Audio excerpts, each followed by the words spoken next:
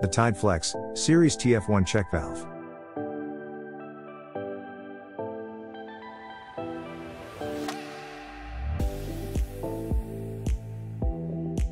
Designed for in-structure and end-of-pipe installations, the TF1 features a flat bottom and flared top.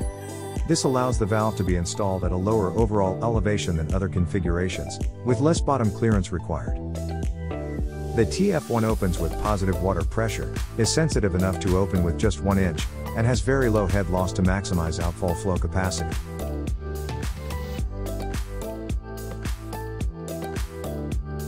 The TF1's curved bill returns to closed position every time, allowing for tight sealing.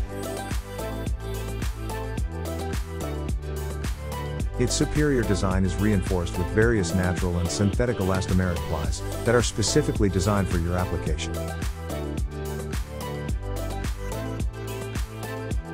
The TF1 is available in sizes from 1 2 inch to 100 inch diameters.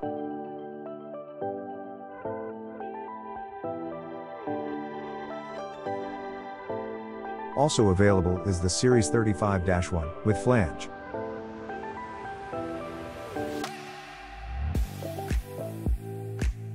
And the Series TF2 with flared bill on top and bottom.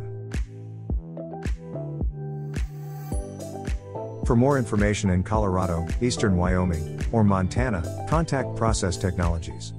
Call them at 801 264 1114 or visit www.process-tech.com.